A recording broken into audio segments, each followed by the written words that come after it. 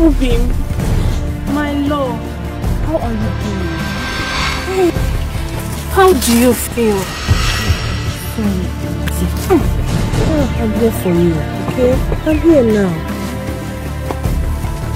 If only she knew that these her delicious food ends up in the belly of the three wise men, she must not bring it. Can someone in this village just surprise me and be nice for once? What is wrong with everybody?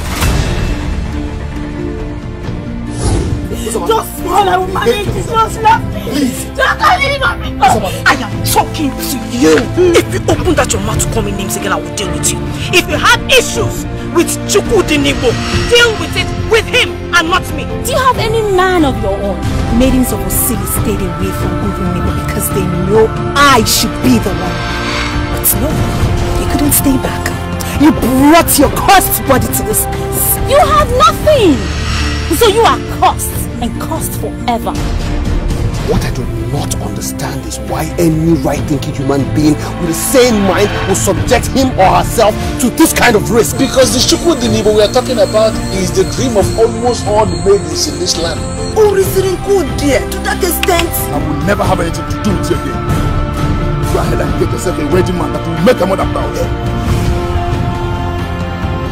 What some worthless maidens do to get a man's attention? Food cannot get him.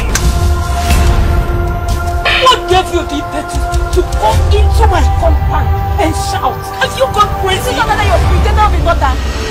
She said I was being cheap by abandoning all the men that was coming my way. She knows the worst. The news of how all the maidens of Osili killed themselves over him is everywhere. And how is that your fault? I like you. I want to court you. And I want to marry you. Why do you still desire a man who does not want you? No, don't you show that I love and care for you. Love me. Since when? Oh!